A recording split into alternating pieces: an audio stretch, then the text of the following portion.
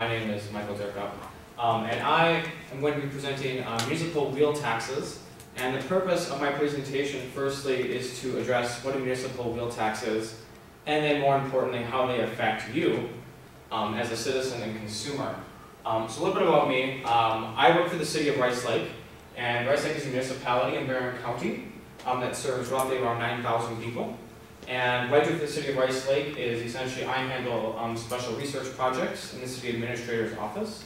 And one of those projects um, is discovering uh, municipal wheel taxes and how they integrate with our municipalities. Um, a current event is because the city of Rice Lake is actually um, featuring a structural deficit this year. Um, I should say this coming budget year, so it would be 2019. Um, and one of the ways that we're working on solving that deficit is by implementing a municipal wheel tax. So let's address the first uh, primary idea to this, and that's to define what a wheel tax is. Um, so essentially a wheel tax is just a fee that's placed on and or in addition to your normal vehicle registration fee. So your base registration fee is typically about $75, um, and the wheel tax is essentially a surcharge or a service fee um, that's placed on, on top of that that goes back to the municipality in which the vehicle resides in. Um, so essentially, it has nothing to do with wheels whatsoever. it's just a very generalized name um, for the fee. And that's from the Wisconsin Department of Transportation. Um, so we'll move on here and talk about you know, what vehicles apply to that. And so primarily it applies to most automobiles um, and then trucks under 8,000 pounds. So in general, lots of cars. Um, and how many um, there's quite a few, and we'll jump to that shortly, but we first need to understand how much do these fees generally cost. Um, throughout the state, these fees tend to run anywhere from $10 all the way up to $30. And once again, that's in addition to your $75 base registration fee. So we're talking as high as $105 in total. Um, but you can see that there's a very small percentage of municipalities that have a wheel tax that high. Um, and the average is about you know $20 with 80% of municipalities having that wheel tax in place. So jumping back to how many people that affects, that affects uh, 4.782 million vehicles in the state of Wisconsin alone. Um, and when you take those vehicles and you park them end to end, they essentially follow the whole perimeter of the 48 uh, contiguous United States um, one and a half times. And that's just in our state alone.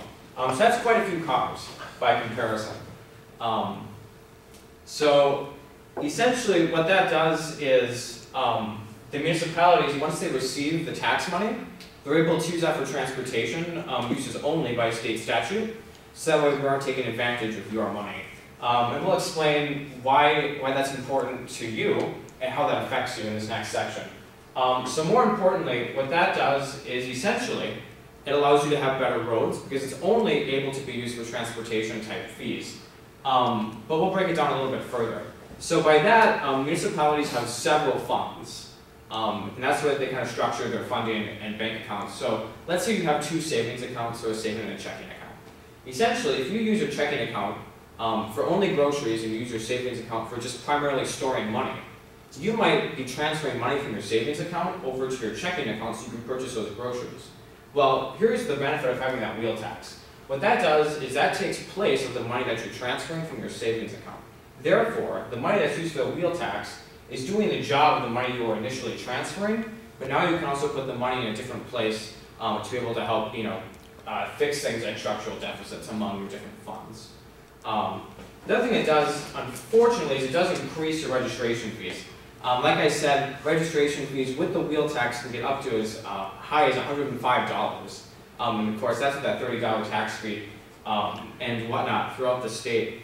But the interesting part is how can you avoid the wheel tax? I think that's probably important to all of us. Um, so if you have any of these charming plates, um, you can avoid the wheel tax. So if you have a car that's an antique, a collector car, if you have the Medal of Honor, um, if you have a historic military vehicle, or an ex-prisoner of war um, plate, or even a hobbyist plate, then you are exempt from that wheel tax. Um, so if you have a vehicle that qualifies for that, I would highly recommend that you get one of those plates, so you can save yourself some money in the long run. Um, and to conclude, we've discussed what a wheel tax is, um, the price of a wheel tax, um, how people are affected by that wheel tax, and more importantly, how you can avoid it. Thank you.